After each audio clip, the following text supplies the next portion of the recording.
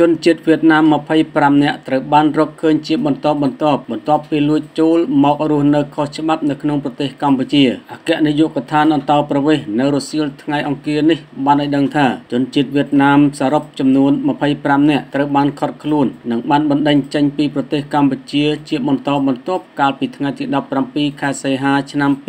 2024ក្រោយរកឃើញថាបានពាក់ព័ន្ធទៅនឹងការក្លែងបន្លំលិខិតឆ្លងដែននិងចូលមករកស៊ីខុសច្បាប់នៅកម្ពុជាបើតាមការអត្ថាធិប្បាយរបស់កណនី Facebook ផ្លូវការរបស់អគ្គនាយកដ្ឋានអន្តោប្រវេសន៍នៅថ្ងៃទី20ខែសីហានេះបានឲ្យដឹងថាក្រោយទទួលបានប័ណ្ណបញ្ជា និងអនុសាសន៍របស់ឯកឧត្តមអភិសន្តិបណ្ឌិតសសុខាឧបនាយករដ្ឋមន្ត្រីរដ្ឋមន្ត្រីក្រសួងមហាផ្ទៃអគ្គនាយកដ្ឋានអន្តោប្រវេសន៍បានធ្វើការស្រាវជ្រាវនិងស៊ើបអង្កេតដោយខត់ខ្លួនបានជនជាតិវៀតណាមសរុបចំនួន25នាក់ដោយក្នុងនោះមានស្រីចំនួន23នាក់ក្រោយការស្រាវជ្រាវនិងសាកសួរបានរកឃើញថាជនជាតិវៀតណាមទាំងនោះមានពាក់ព័ន្ធទៅនឹងករណីលួចស្នាក់នៅខុសច្បាប់ធ្វើការងារដោយគ្មានកំណត់ត្រឹមត្រូវនិងគ្មានលិខិតឆ្លងដែនជាមួយគ្នានោះនាយកដ្ឋានស៊ើបអង្កេតអនុវត្តនីតិវិធីនៃអគ្គនាយកដ្ឋានអន្តោប្រវេសន៍បានទទួលជនជាតិវៀតណាមទាំងនោះពីស្នងការដ្ឋាននគរបាលរាជធានីភ្នំពេញស្នងការដ្ឋាននគរបាលខេត្តកណ្ដាល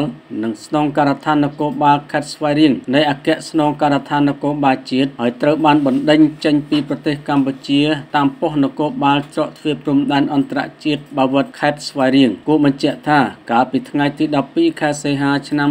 2024កន្លងទៅអគ្គនាយកដ្ឋានអន្តោប្រវេសន៍ក៏បានធ្វើការស្រាវជ្រាវនិងបណ្ដេញចេញនៅជនជាតិវៀតណាមសរុបចំនួន28នាក់ក្នុងនោះមានស្រីចំនួន6នាក់បានពាក់ព័ន្ធករណីលួចឆ្លងដែនខុសច្បាប់លួចស្នាក់នៅធ្វើការងារខុសច្បាប់មានលិខិតឆ្លងដែនកាន់កាប់លបែងស៊ីសង និងអ្នកចាត់ចែងលបែងស៊ីសងនៅក្នុងប្រទេសកម្ពុជាល្បែងអនឡាញមជ្ឈមណ្ឌលអូស្ត្រាលីសម្រាប់ការបណ្ដុះបណ្ដាល Australian Center for Education